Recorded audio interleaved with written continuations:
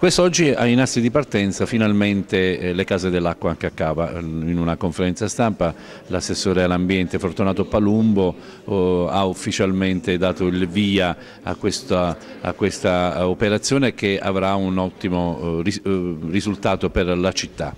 Certo, eh, diciamo che eh, come ho ben spiegato poco fa in conferenza stampa noi eh, posizioneremo tre, tre case dell'acqua di queste tre, due purtroppo sono in zona sottoposta a vincolo paesaggistico, quindi ci vorrà un poco più di tempo. La terza è già, eh, diciamo che massimo massimo forse per fine giugno eh, riusciamo a inaugurare già la, la prima casa dell'acqua, le altre due bisognerebbe aspettare un poco più di tempo.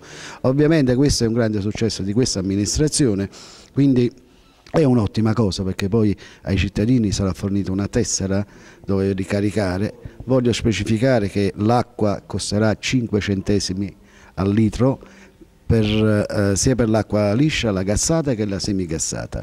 Quindi è un risparmio notevole per le famiglie e grazie a questa amministrazione si, incomincia vedere, si incominciano a vedere i risultati del lavoro fatto da tutta questa amministrazione diamo un po' anche di eh, istruzioni per l'uso a, a, questi punti di distribuzione dell'acqua eh, si potrà accedere pagando una, eh, diciamo, una con una tessera sì. che poi andrà a scalare, sì. a scalare, il proprio valore ma eh, soprattutto si, si, potrà avere acqua eh, di, che l'acquedotto diciamo, sì.